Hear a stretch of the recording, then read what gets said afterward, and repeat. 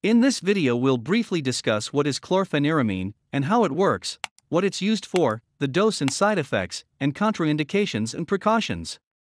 Chlorpheniramine is an antihistamine medication. It competitively antagonizes histamine at the H1 receptors. It is available as immediate release and extended release tablets, and available as syrup and injection, and it is also combined with other agents in common cold and cough preparations. Chlorpheniramine is used to relieve nasal and non nasal symptoms associated with seasonal allergic rhinitis, such as sneezing, itchy and watery eyes, itchy nose or throat, and runny nose caused by hay fever rhinitis or other respiratory allergies.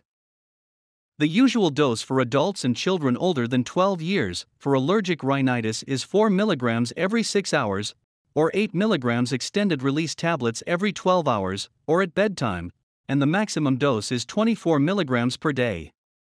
For children from 6 to 12 years, the usual dose is 2 mg every 6 hours, and the maximum is 12 mg per day.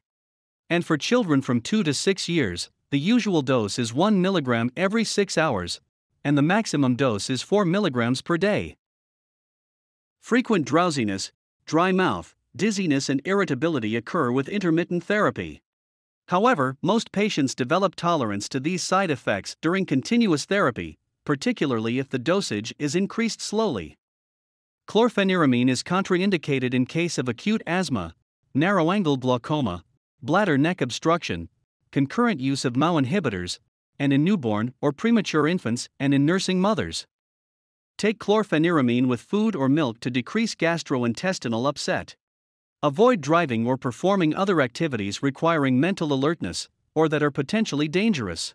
And also avoid using alcohol or other CNS depressants. Take sips of water frequently or chew sugarless gum if dry mouth occurs. And finally, notify your healthcare provider if blurred vision occurs. That's all for this video. Subscribe and click on the bell icon for more animated medical videos like this one.